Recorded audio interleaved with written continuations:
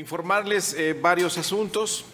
Eh, el más importante que tiene que ver con los diputados es que tuvimos hoy en la mañana con la presidenta del Senado y quien será la presidenta de la Comisión eh, Permanente una plática con el subsecretario Hugo López Gatel y ahí le planteamos la posibilidad que estábamos manejando nosotros de tener una sesión extraordinaria en la Cámara de Diputados la próxima semana. Eh, el doctor Gatel nos explicó, como lo hizo ayer en su conferencia ante los medios, de que la siguiente semana se espera el pico de contagios en la epidemia. Eh, sabemos que los diputados tienen que trasladarse de todo el país para llegar a la Ciudad de México y poder eh, sesionar, lo cual resulta muy inconveniente en esos días. Él nos recomendó que era preferible no tener este tipo de reuniones por lo menos las siguientes dos semanas. Entonces hemos valorado su recomendación y vamos a atenderla. Entonces no vamos a plantear el día de hoy en la comisión permanente el citatorio a un periodo extraordinario. Y al mismo tiempo, bueno,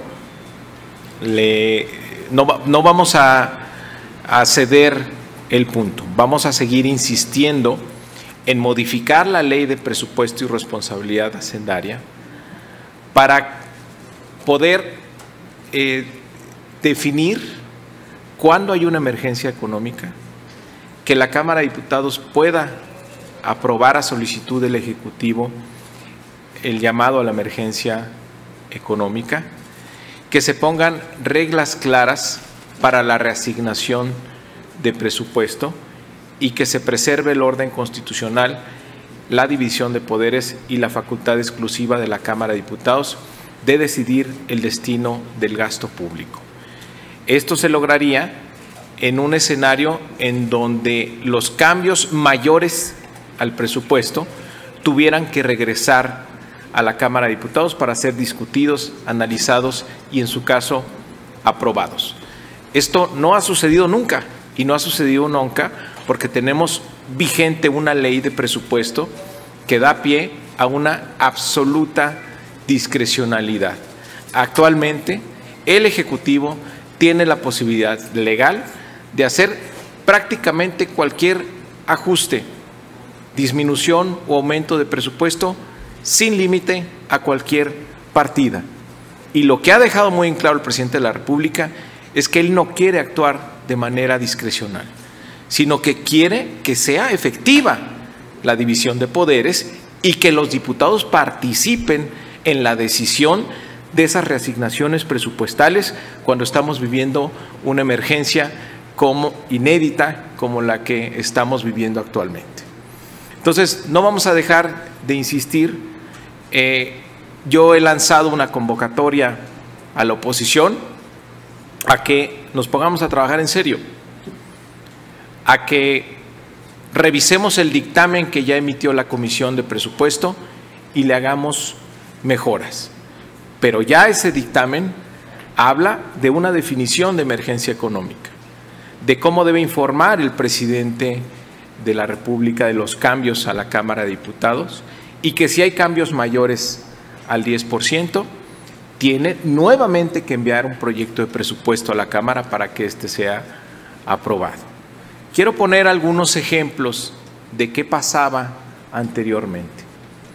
No sé si alguno de ustedes tenga en la memoria el año 2015 como un año que haya pasado lo extraordinario en el país. Pues no, no pasó nada extraordinario como lo que estamos viviendo. Pero en ese año hubo reasignaciones presupuestales equivalentes a 8 puntos del PIB, 20% del presupuesto total. Y fue absolutamente apegado a ley. De ese tamaño son las discrecionalidades con las que se maneja el presupuesto en este país y eso es lo que no queremos hacer, eso es lo que queremos acotar. Eso es lo que queremos que la Cámara de verdad y de manera efectiva decida el destino del gasto público en México. De eso se trata la iniciativa de reforma a la ley de presupuesto que nos ha, enviado el presidente de la República. Quienes se opongan a legislar en esta materia, lo que están defendiendo es el marco jurídico vigente, el marco jurídico de la discrecionalidad, de la falta de transparencia.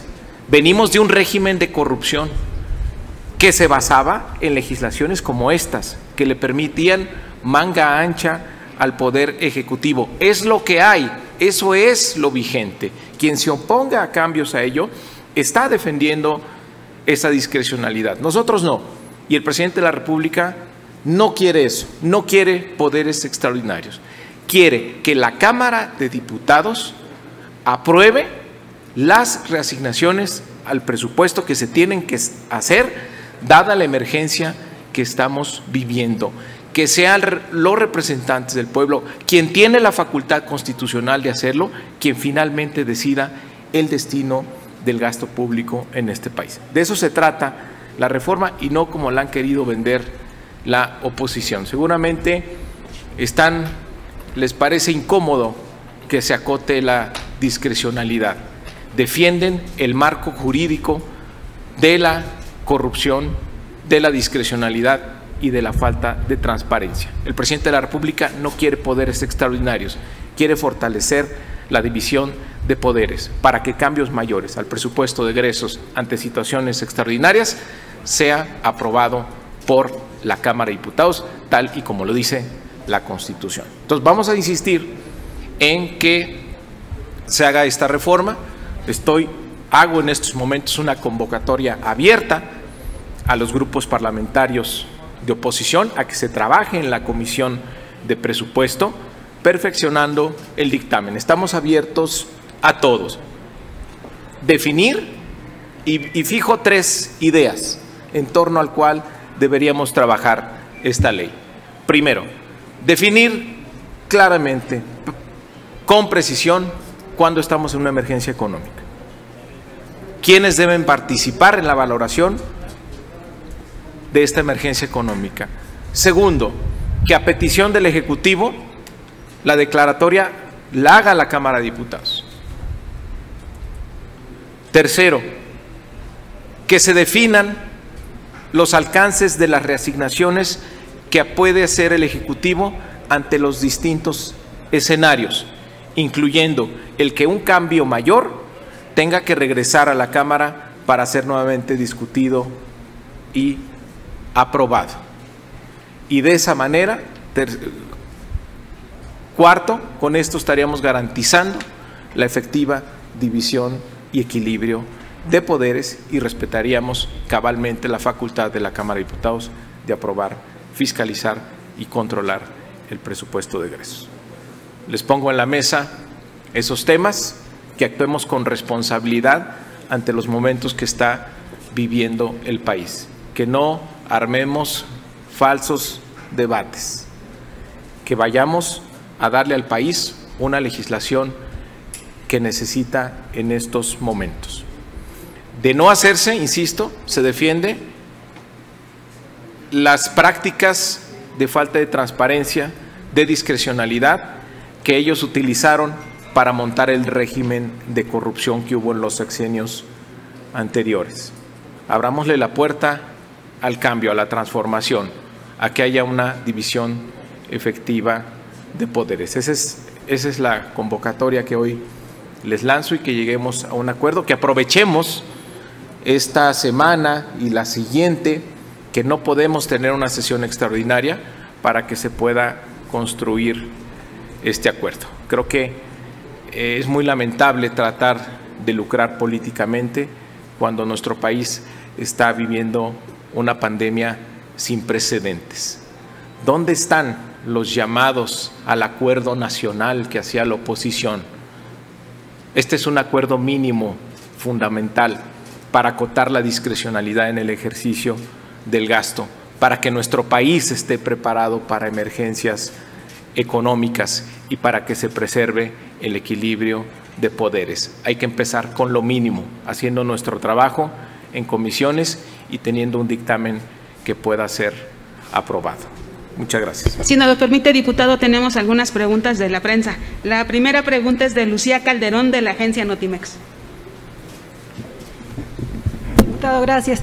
Bueno, entonces en la sesión de hoy, ¿qué es lo que van a tratar? ¿Qué, qué es lo que podemos esperar que resuelvan este día? No va a haber periodo extraordinario, van a analizar la propuesta presidencial en comisiones. ¿Qué sigue? Hoy lo que se va a tratar es, eh, se tiene, bueno, se instala la permanente, se nombran las eh, comisiones, se aprueba el reglamento de funcionamiento de la permanente, que va a ser un reglamento innovador, porque abre la posibilidad de tener sesiones virtuales en las comisiones y también en el pleno de la permanente. Acuérdense que la permanente no aprueba leyes. Eh, sin embargo, estamos poniendo algunas restricciones en qué sí puede ser votado virtualmente y qué no puede ser votado virtualmente. Entonces, digamos, será un reglamento novedoso. Le pregunta ahora el columnista Francisco Garfias. Panchito. Mario, yo traigo aquí una confusión porque tú hablas de acabar con la discrecionalidad. Sin embargo, la iniciativa original eh, eh, traía como propuesta elevar el tope a 10% de lo que puede manejar el presidente eh, de, de, lo presupuestado cuando actualmente está a 5%. Entonces, no. a ver, ahí hay un... Ahí no, hay un, qué bueno que me preguntas eso. Miren, Tú mismo lo dijiste en una no, entrevista. ahí te va, es que no me entendiste. A ver, no, si te Cuando entendí. hay cambios, no, ahí te va, te voy, te voy, a aclarar, dame la oportunidad. Cuando hay cambios mayores al 5%, ¿qué dice la ley actualmente? Que el Ejecutivo tiene que informarle a la Cámara de Diputados. ¿Se acabó? ¿Cuánto es mayor a 5%? Puede ser 100%. O sea, eh, eh, es que tenemos una confusión mental. De lo que estamos partiendo es un marco jurídico absolutamente discrecional, sin límite. Les acabo de poner un ejemplo de 8 puntos del PIB en un año que pasó sin pena ni gloria. Pero ustedes Entonces, son diferentes. ¿qué es? Por eso somos diferentes. No queremos que tenga una discrecionalidad de 100%. Nosotros consideramos, y se plantea en el presupuesto, cuando, por supuesto que tiene que haber márgenes, claro que tiene que haber márgenes, flexibilidad en el ejercicio del presupuesto. Pero cuando, en qué momento llegas ya a un cambio en el que cambies, en, en el que se trastoque, digamos, la columna vertebral, los principios generales del presupuesto que aprobó el legislativo. La comisión lanza una propuesta, 10%. Si les parece mucho, discutámoslo. Pero no es 0 contra 10. El comparativo es actualmente 100%. Lo puede hacer 100% y no opina la comisión. Hay otro ejemplo que establece la ley, otro caso, el artículo 21. Si los ingresos te caen 3%, entonces el Ejecutivo tiene que mandar a la, Cámara de Diputados una propuesta diciendo, ¿qué voy a hacer? Sí, tengo que hacer estos reajustes. Y la Comisión de Presupuesto puede dar una opinión al respecto. Misma opinión que no es vinculante. Y aquí adelanto un escenario. En caso de que no hubiera ninguna modificación a la ley de presupuesto, el presidente puede apegarse al artículo 21 actualmente, en caso de que los ingresos caigan, informar a la Cámara de Diputados y la Cámara va a dar una opinión y se acabó, ¿eh? O si mueve partidas por encima del 5%, va a informar a la Cámara y hasta ahí. Por eso creemos que es insuficiente. Por eso creemos, ayer incluso el director del, Instituto de Investigaciones Jurídicas de la UNAM cuestionaba la constitucionalidad de esos artículos del 58 vigente de la ley de presupuesto y del 21, porque finalmente pues no se considera a la Cámara cuando hay ajustes presupuestales. Ese, es ese justamente es la legislación, ese escenario, esa discrecionalidad es la que queremos superar. ¿Para qué? Para que cuando haya cambios importantes, ah, entonces la Cámara decida. Sí, 6 por, eh, 10% equivale a 600 mil millones de pesos. Sí, a- a- es mucho menor que 5 billones, que es el presupuesto total. Es el 100%. Ok. Ok. ok. Estamos hablando de que eh, quieren ponerle el tope. Ahí estaba en 5%. Tú dices que bastaba. No, no, Entonces, está- seguimos confundidos, Pancho. Es 100%. ¿Cuánto puede mover actualmente el, el presidente el ¿y presupuesto? el 5% del que tú hablaste de No, que- es 100%. ¿Qué Oh. pasa cuando lo mueve 5%? Informa a la Cámara. Cuando alguna partida del presupuesto lo mueve 5%, informa a la Cámara. Nada más. O sea, antes del informe trimestral.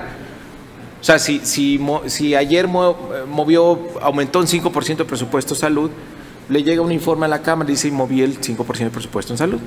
Y la Cámara dice, bueno, pues muchas gracias por informarnos, ¿no?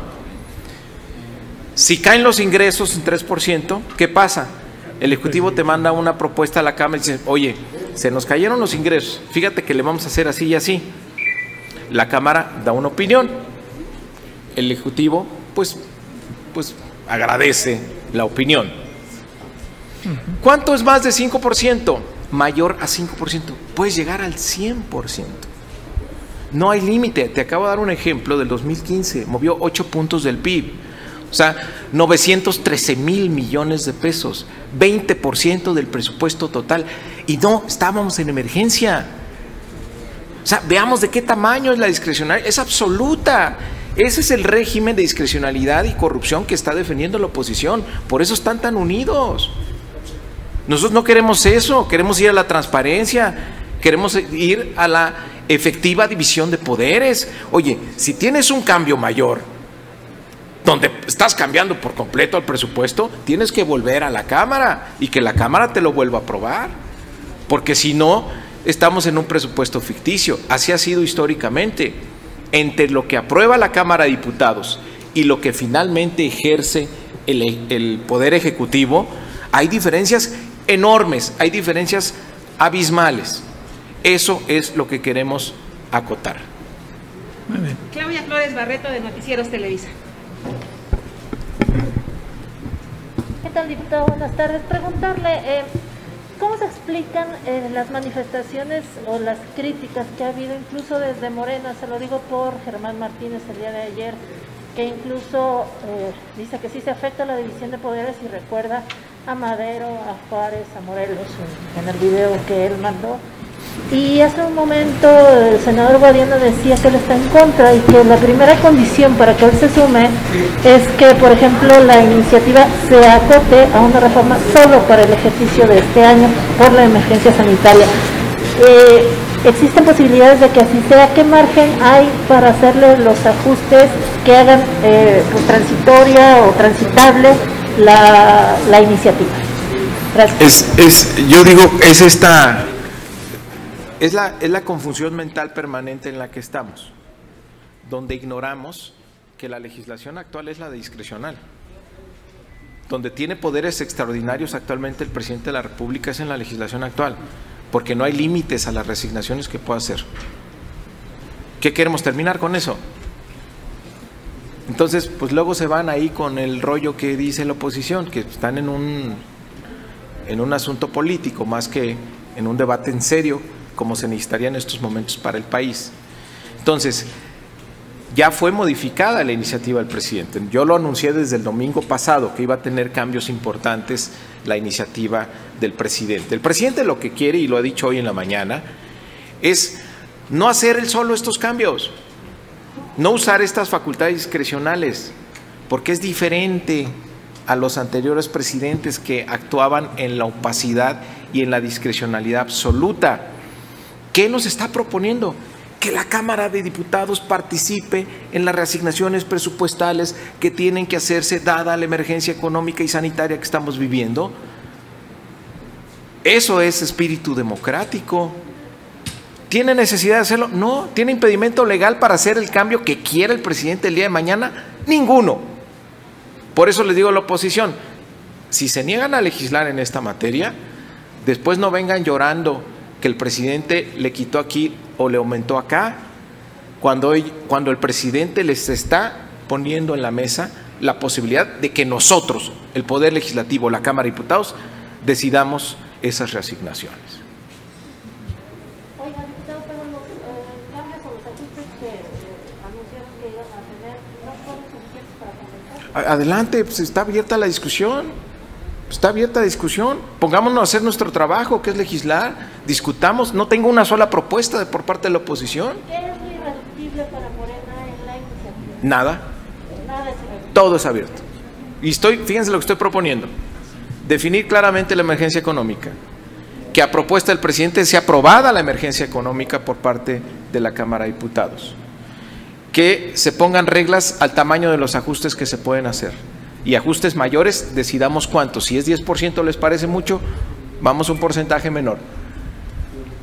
Porcentajes importantes de cambio en el presupuesto, que regrese a la Cámara y que tengas que ser discutido otra vez, analizado y votado otra vez. Y garantizar una efectiva división de poderes. Que terminemos con la simulación y la discrecionalidad en el ejercicio del gasto. Ahí está, es mi propuesta en la mesa. Hagamos nuestro trabajo. Así nos lo exige nuestro país y la emergencia que estamos viviendo. Claudia Salazar, de Grupo Reforma. Buenas tardes, diputado. Eh, varias eh, precisiones. Eh, lo que usted dice, pues no se ha visto ni en la iniciativa del presidente ni en su propio dictamen. En su dictamen viene una amplia discrecionalidad para el Ejecutivo, aunque le pongan topes. Ayer les decía eh, eh, Héctor Juan Villarreal que, que estaban proponiendo precisamente el, el tope del 10%, pues era sobre todo el gasto no eh, reductible. Por ejemplo, o sea, estaban abriendo la puerta para modificar todo aquello que de donde sí tiene margen de maniobra el Ejecutivo. Y una de las precisiones que ayer les hacían era que el presidente precisamente no ha cumplido con la ley, que debió haber presentado ya una propuesta de reasignaciones eh, después de que presentó los precriterios económicos, cuando ya venía reconocida la caída de los ingresos y que no ha presentado una propuesta de reasignaciones. O sea, el presidente no ha cumplido con la ley en todo este tiempo. Y también los acusan a ustedes de que lo que quieren hacer es justificar el decreto con el que ya ordenaron los recortes, un decreto que es incon- inconstitucional o al menos es ilegal y que a través de su reforma lo que quieren es legalizar esos recortes que ya son este, ilegales, como lo de la reducción de salarios. Eso es, eso es lo que dicen, no, no, yo, eso es mi pregunta. Ustedes son los primeros que no han presentado propuestas que limiten realmente más la- la discrecionalidad del Ejecutivo. Simplemente la iniciativa del Ejecutivo era abierta, inconstitucional. Esa es la primera este, crítica que les hicieron interiormente. Sí. ¿no? Entonces, eh, digamos, no, ustedes más bien están cambiando el discurso para defender ahora reformas que ustedes mismos no propusieron al principio. ¿No? Digo, está usted reconociendo que les falta para llegar Estamos- a una mejor propuesta. a ver, porque estamos lo en que un- han propuesto no es suficiente para acotar al, al Ejecutivo, que sí ha sido discrecional en todo 2019, por ejemplo. ¿O no? Ver, todos los recortes es- que es- hizo. es- a ver, es, fíjense, es, es difícil. O sea, es, es una confusión mental Yo sí permanente. entiendo, ¿eh? O sea, yo sí no, no, entiendo. no entendemos, voy a decir por qué. Yo sí entiendo lo que han Mo- hecho no, y lo que han propuesto. No, les voy a decir por qué no. Y por eso le pregunto. No, por- fíjense, mire, les voy a decir cuál es el problema. No estoy confundida, por eso le entiendo. Bueno, déjame contestar. pregunto, Pero Te no voy- diga que estoy confundida, porque sí, Bueno. sí entiendo. No, no, no, tú no. De- de- miren, ¿dónde está la confusión permanente? ¿Dó- ¿Dónde está la confusión permanente? En, en cuestionar las resignaciones que haya hecho el presidente. O sea, hay un marco jurídico vigente que permite la absoluta movilidad, reasignación en quitar, poner presupuesto público. Es lo vigente. Es, es lo que prevalece. Ustedes me dicen, es que es ilegal los recortes que hizo el presidente. No, no es ilegal. ¿No es ilegal Lo los que- salarios? Lo- eso, no tiene- eso es otra cosa, no es recarte. O sea, eso, eso no hay. O sea, ¿me explico? entonces ahí caemos en la trampa otra vez. No, el marco legal vigente permite la absoluta discrecionalidad. Ese es el que queremos acotar. Dice, no, es que no acotan la discrecionalidad porque dejan 10%. A ver, perdón, pero acotar de 100% a 10% es un mundo de diferencia. ¿eh? Por ejemplo, si hubiera existido esa restricción, el presidente Peña hubiera tenido que regresar al Congreso en el 2015 a pedir una reasignación del presupuesto. Y varios años, déjenme, les voy a dar los datos después, pero varios años se hubiera presentado ese escenario. Entonces, ese es el que queremos, o sea, es al revés el razonamiento, ese es, ese es el que queremos acotar. Entonces, estamos en un proceso de discusión y de dictaminación. Ya hay propuestas en la mesa que claramente eh, eh, cambian y de manera importante la iniciativa original. Por ejemplo, hay una definición que puede ser perfectible de emergencia económica. Por ejemplo, hoy estoy lanzando aquí la propuesta de que, porque ayer tuvimos un foro muy valioso, donde varios constitucionalistas dijeron, oiga, pues sería bueno que a propuesta del Ejecutivo la declaratoria fuera finalmente hecha o aprobada por la Cámara. Pues órale, le entramos, me gusta la idea, la, la, la, asumimos. Y este, porque eso fortalece además la división de poderes y porque es congruente con otro tipo de, de eh, con otros artículos que hay en la Constitución que ayer se explicó muy bien que 10% es mucho, bueno, pues entonces disminuyámoslo. O sea, estamos abiertos a la discusión, estamos legislando una situación inédita, creo que todos tenemos que hacer nuestro mayor esfuerzo, poner nuestro mejor talento y sobre todo asumir un compromiso con el país. Para una precisión al señor Francisco García. Una precisión, eh, busqué el artículo 74, fracción cuarta, que dice examinar, como facultad exclusiva de la Cámara de Diputados, examinar, discutir y aprobar anualmente el presupuesto de egresos de la Federación, discutiendo primero las contribuciones que a su juicio deben decretarse para cubrirlo así, como revisar la cuenta pública del año anterior. Facultad exclusiva. Entonces, si en tu razonamiento dices que el Ejecutivo puede actualmente mover el presupuesto a su antojo, ¿Sí? al 100%. ¿Sí? Entonces está violando la Constitución, sí. porque aquí claramente se dice, sí, que es facultad exclusiva de la Cámara de Diputados. Entonces, es lo que no quiere hacer el presidente. Por eso. Entonces, si tú dices que eh, eh, eh, le van a dar hasta el 10%, que no es poco dinero, es, hoy por hoy son 600 mil millones de pesos, es decir, que lo van a acotar. Entonces, hasta hoy el presidente ha violado la Constitución. No, a ver, ayer, no sé si viste ayer, Pancho, el foro que tuvimos, pero ayer Pedro Salazar cuestionaba la constitucionalidad de estos dos artículos, del artículo 58 y del 21 de la ley de presupuesto, justamente porque vulnera el 74. Eso justamente es lo que queremos que se respete, queremos que se respete el 74. Por eso decimos, a ver, cuando haya cambios relevantes, significativos, entonces tiene que respetar 64, tiene que regresar a la Cámara. Es que yo creo que la confusión ahora la traes tú, porque eh, dice es facultad exclusiva de la Cámara de Diputados, desde el 1% hasta el 100%, ¿sí? Facultad exclusiva. ¿Por qué dices que no? Si le van a poner el 10 y entonces le van a pedir, poder eh, permitir eh, mover 600 mil millones de pesos libremente. O sea, Ahí, es, eh, ahí es donde creo que tú eres el que estás confundido. No, a ver, bueno, a lo mejor sí. Digo, yo y no pasa nada. Que si uno se confunda, no, no, no tiene nada que. A ver, pero al, me he dedicado un rato a esto. ¿Qué pasa actualmente? Un presupuesto y ley de ingresos se calcula en base a ciertos supuestos macroeconómicos. ¿no? Tú dices, más o menos creo que así va a estar el petróleo, la inflación, la tasa de interés, más o menos vamos a recaudar esto. Y luego dicen, bueno, pues más o menos no lo vamos a gastar así. Y entonces empieza el año y empieza a ejercerse el presupuesto.